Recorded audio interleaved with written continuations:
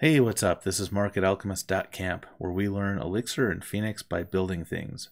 Today we're working on our Phoenix 1.4 chat server, and this is part 5 of many. If you're new to the series, go to alchemist.camp slash episodes, and you can see them all here and get caught back up. Last time we made an auth plug that let us restrict access to different parts of the app to only users who are logged in or only admin users or only a particular user.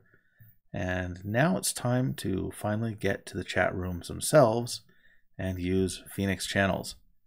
As you can see, our chat rooms are pretty basic. So basic, in fact, they don't have a chat. They just have a name, a description, and a title. So let's start by working on this page, which is our room show, I believe. Yes, here's the template. So let's change this showroom and the title to room colon and the name of the room, just since that's going to be a little bit more useful than saying showroom. We've got room available in this template, so just room.name.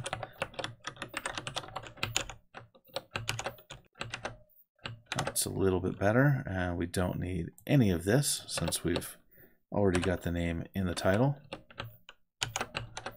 Now what we'll do is we'll leave all of this on the left half of the page and we'll add the room itself on the right half. So to do that, we'll make a couple of divs for styling. Uh, the first one will just have a class of row and the next one will have a class of column and I'm guessing here, but we'll try column 50. And we'll put everything that was on the page above the navigation at the bottom into this layout here. We did make the page a little bit narrower, so it had to wrap sooner.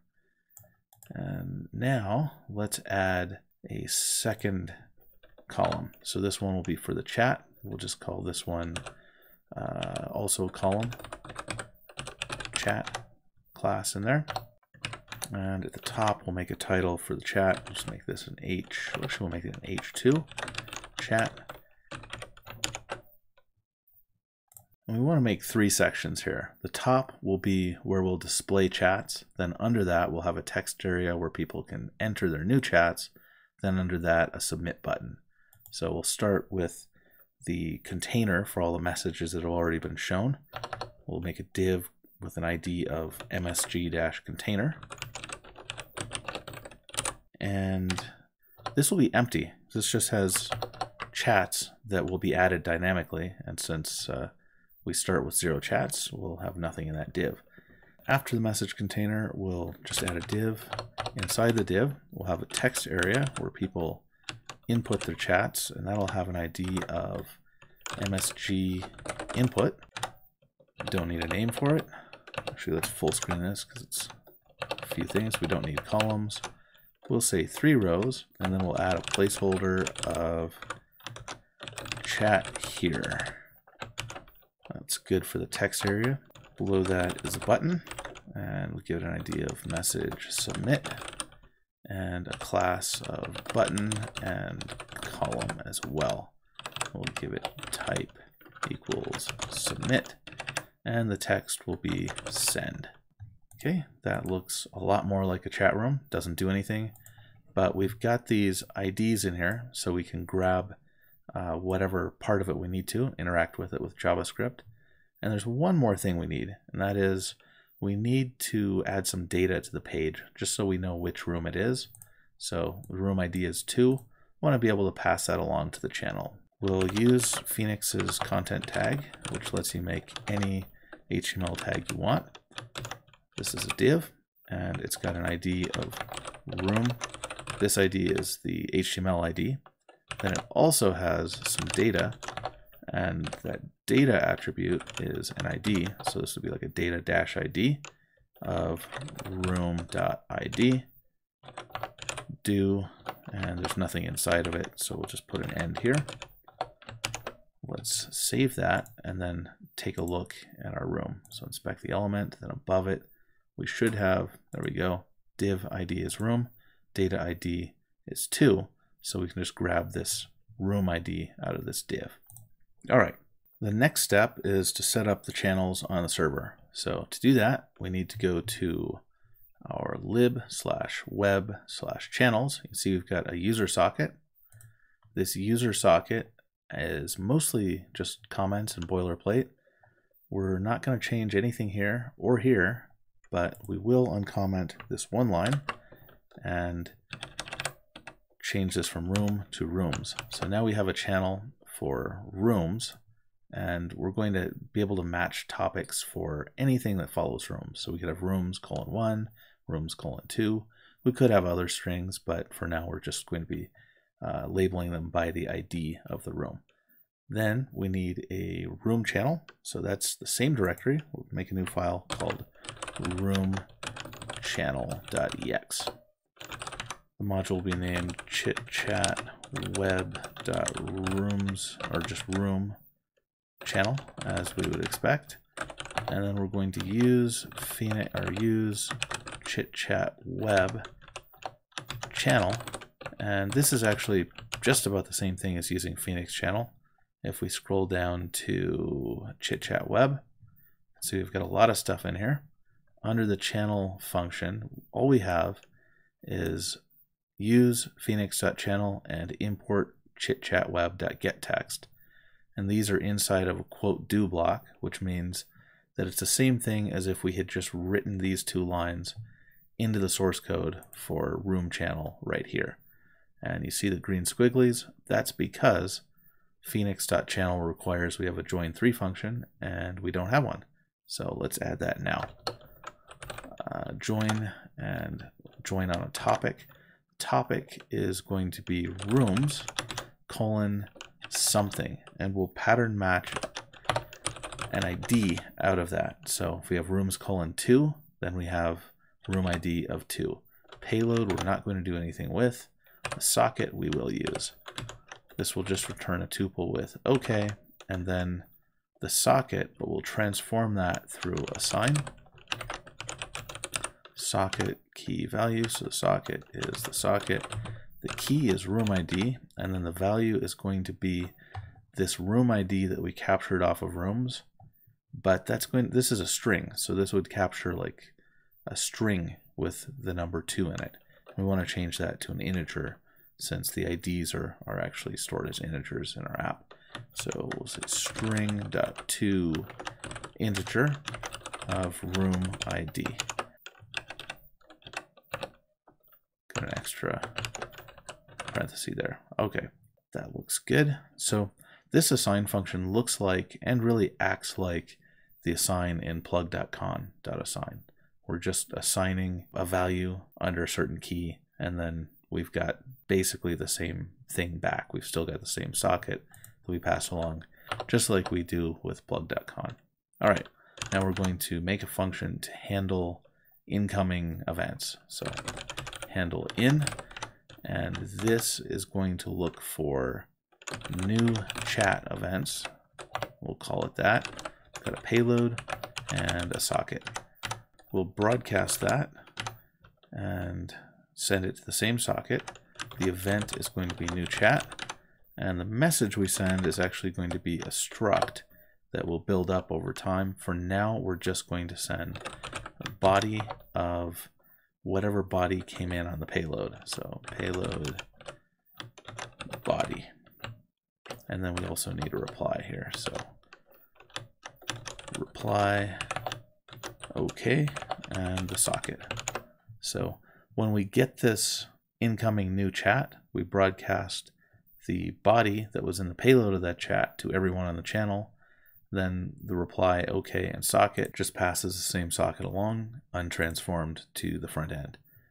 All right, that pretty much handles what we need to do on the server side. So let's go to the JavaScript side. First thing we'll do is we'll make a new file for rooms. Call it room.js. And this room.js file will export just one thing. And we'll define a room up here. So let room equal everything inside. first we'll have an init function, and the init function will take a socket and an HTML element, so we'll call it L. That element that we pass in is going to be the same element that we created in the room show page with the data attribute up here. Data ID equals 2, so we'll be able to get that 2 off of it and know what the room ID is. L dot get attribute of room uh, of data ID. And just to make sure we have everything working properly, we'll put a console log in there, console.log element L room ID of room ID.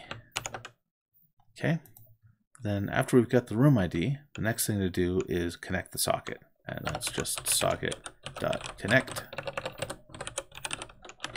Once we've connected the socket, then we can join the channel. But since there might be some asynchronous things to resolve first, let's make it a separate onReady function. So we'll just call this .onReady with room ID and the socket. Once that's done, we need to make the onReady function. OnReady takes room ID and a socket. And for now, we'll just add the functionality to join the channel. So let room channel equal socket dot channel of rooms colon plus room ID. We're just building it back up. And then room channel dot join is all we'll need, but we'll add uh, receive OK. And after we get the OK, we'll take the response and console.log joined room channel and give the response there. Then we'll add another one for error. And in that case, we want to do basically the same thing, except we'll just say there was an error and give the reason. Console.log of failed to join, and then whatever the reason was. Let's full screen that. This looks like it should work. Just got to make a couple small changes here in socket.js. You can see here at the top, we've got a socket that comes from the Phoenix.js library, and then we're just using that to create a new socket. Here's the endpoint of slash socket. The only parameter we have is a token where we're getting the user token from the window. We haven't actually set that up, but we'll do that next video probably. What we'll do here is we'll add another parameter and this parameter is going to be uh, a logger. So logger, uh, let's see, the function will take kind message and data, and we'll console.log the same stuff, kind, and then the message, and then the data outside of this, because data is going to be an object, most likely. All right. With this done, let's look at the bottom. We don't need to connect to the socket or join the channel because that's already done in Rooms.js. Save that. Then uh, we should also look at app.js. We've got to import the socket, and that is already here commented for us. Then we also need to import room from room. With that, we'll also have to call the init function. So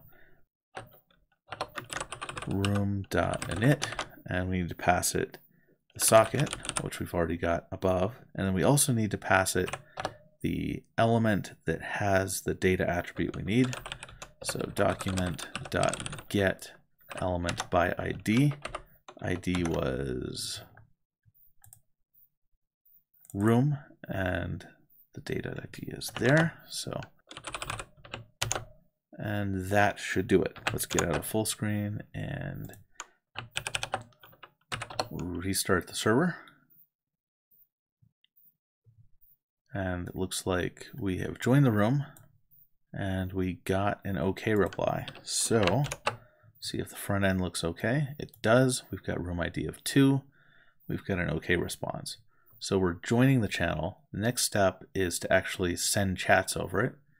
What we're going to do here is when someone clicks this button that has the ID of message submit, we're going to look inside this text area, which has an ID of message input, process whatever's in there and send it up to the server. Let's close that and go back to room.js. So we're going to need to get a little bit more here. We've got a room channel. We also need to get a message input. And that message input is going to be document.get element by ID msg-input. Then we also need to get the button, and we'll call that post button.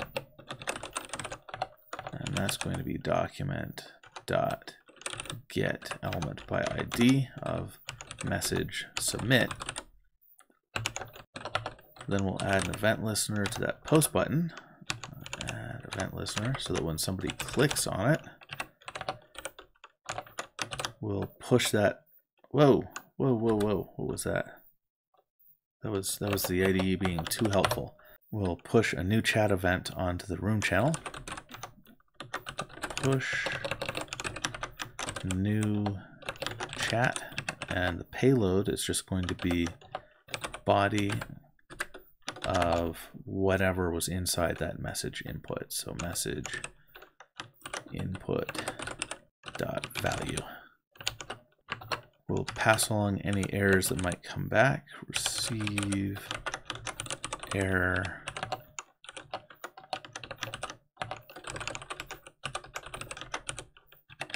And then the last thing we need to do is uh, set the, the message input to blank again. So message input dot value equals empty string.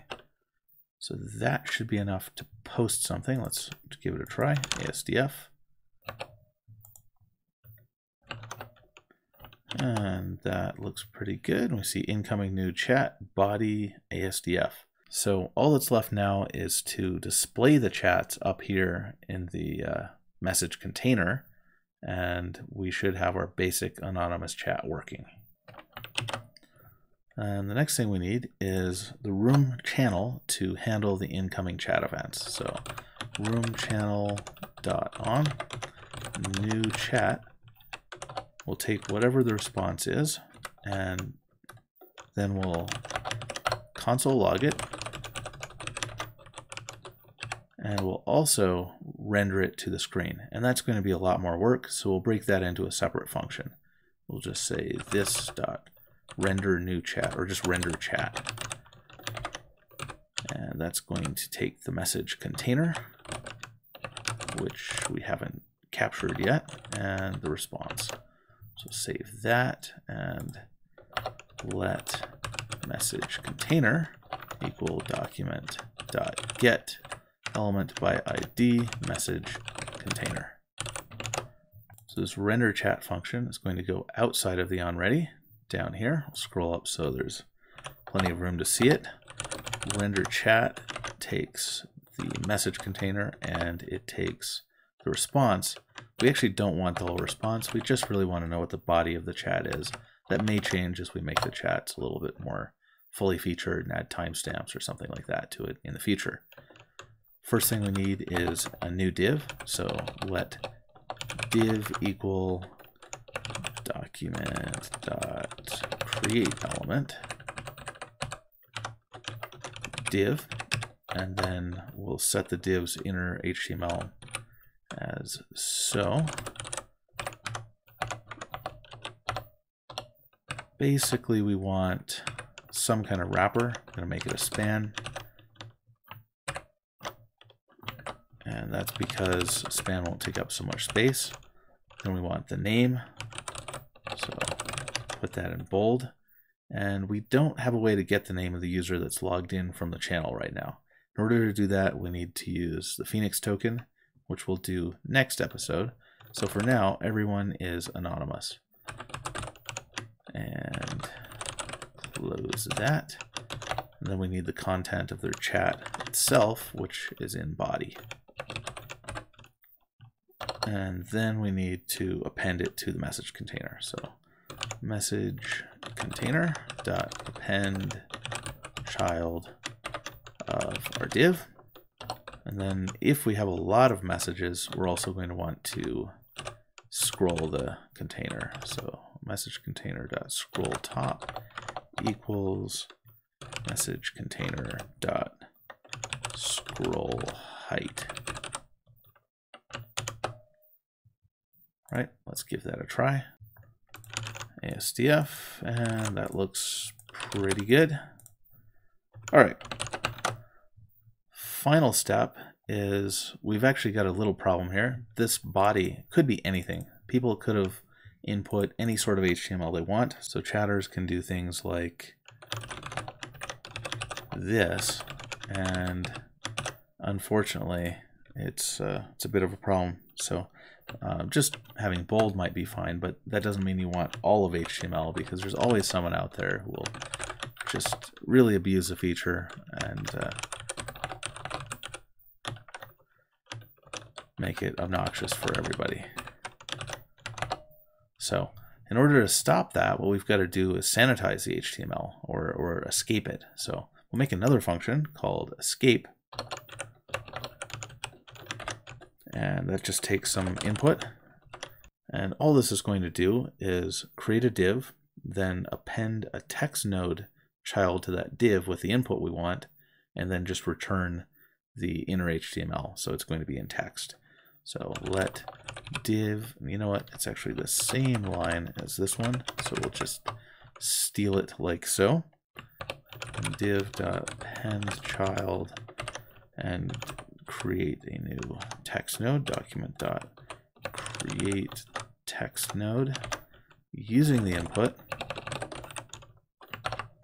return div dot inner HTML. This dot esc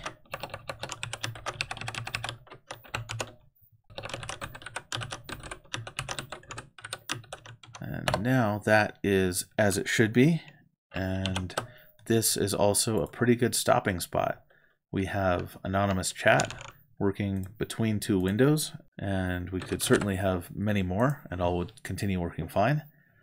Next episode, we'll dig into using phoenix.token to set up authentication for our channels. We'll actually refactor that auth module so that once someone is logged in, they are authenticated across whatever they're using, tokens, sessions, all of it. And when they log out, it will clear out all of them. If you found this video useful or you liked it, then like it on YouTube and definitely tell your friends about it. And I'll see you next time.